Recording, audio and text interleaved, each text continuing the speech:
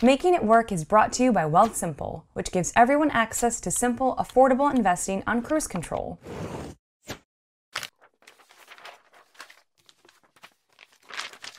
It's Saturday night, and I'm reading a pretty damn boring book about email marketing sales funnels. Why? Because I dropped over $100 on a new necklace yesterday, and I'm trying to chill out this weekend on spending, but also because it's research for future jobs and future side hustle work. This got me thinking about side hustles and my love for them as a writer. I've decided to talk about exactly how much I made from each of my side gigs in one year, the amount of time they took, the amount of emotional and mental energy they took, and how it all ended up to be extremely doable while maintaining my day job. While I broke this down, I was reminded that the money mostly came in 30 to $100 at a time. I was and am playing the long game. The few hours I put in every few nights added up to $100 every so often, which added up to 1000 and after 12 months, you get what I'm saying. Basically, much of it is pretty realistic and attainable. In 2015, I made 21,000 plus dollars in freelance income on top of my full-time salary job. A few things specifically made this possible. So before I get into details, I wanted to paint a realistic, privilege acknowledging picture of what my life was like while this happened. Number one, I walk to my day job in 15 minutes or less each way. Because of this, I didn't spend the one to two hours most people I know spend commuting and could easily do a few hours of freelance work, upping my daily income by $100 or so by the time my boyfriend got back from work in Venice to West Hollywood in LA rush hour.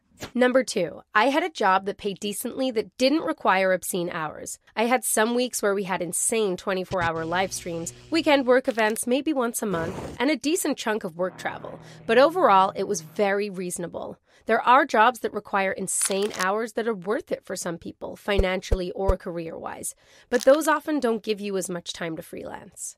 Number three, I am an LA native and my family still lives here, which is relevant to the last income source on my list. This obviously isn't something I can control, but it's dope. When I moved back to LA, I hadn't even considered the possible and financial benefits of this, but it has pretty much deterred me from ever leaving, along with really strengthening my relationship with my fam, even when I'm not using them for a place to crash. Number four, I had and have a certain level of privilege and access. This allowed me to spend my free time doing side hustles, an apartment with internet that was a great workspace, pretty damn good physical and mental health that helped me stay motivated, and an education and growing skill set that was relatively in demand and qualified me for a decent freelancer rate. Now, let's get into my individual side hustle earnings from smallest to largest. $1,500. Three branded content articles for lifestyle brands assigned to me through the branded content division of an online media company I had blogged for prior. These are the only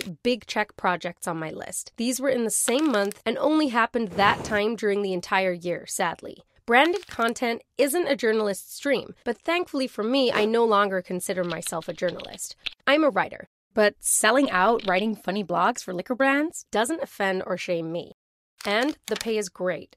$2,400. 15 educational marketing blogs for a website builder software to put on their website. I found this company on angel.co and reached out. This was all done in the last two months of the year. These projects are incredibly boring, but easy for me. I did one to two of these a week, and they took about 60 to 90 minutes each. This was definitely the main hustle where I had to buckle down and remind myself of the cost benefit and how worth it these were for me. $2,870. 13 back to back blogs and a three day trip to a trade show in Las Vegas, paid on a day rate for a boutique content marketing agency. I got introduced to this through an online acquaintance. The blogs were for business owners from a business perspective, but touched on trending fashion and lifestyle topics, so they were fun and easy to write. The people I worked with were also really great.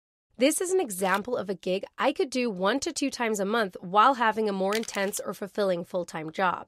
$4,500, about 120 hours of copywriting, email marketing, and general marketing strategy for a lifestyle startup. This was over the course of three months, and it was probably the project I was the most dedicated to. I got this through a mentor esque figure I met in college, and it was the first gig where I had to really come up with a concrete hourly rate, which was a great learning experience. I kind of humiliated myself when I first suggested one that was, looking back, obscenely high.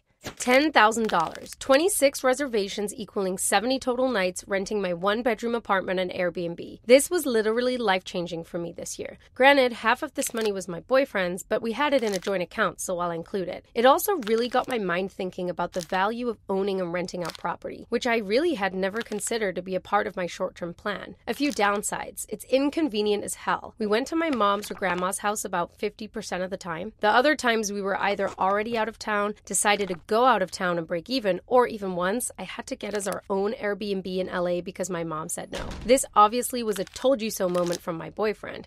The year after this was a lot slower by choice, but spent working on projects I loved more, with higher rates and a new full time job.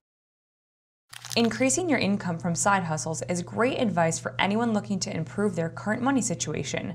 When taking the financial reins into your own hands, make sure to consider future you as well as today you. With Wealthsimple, that could be much easier than you think.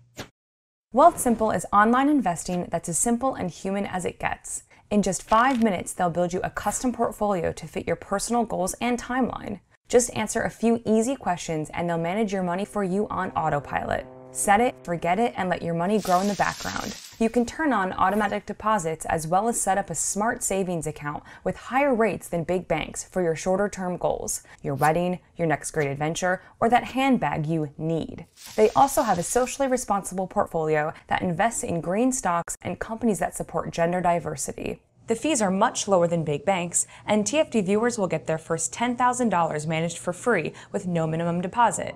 Check them out at wealthsimple.com slash TFD or use the link in our description. There are no account minimums, and it only takes a few minutes to start. No excuses.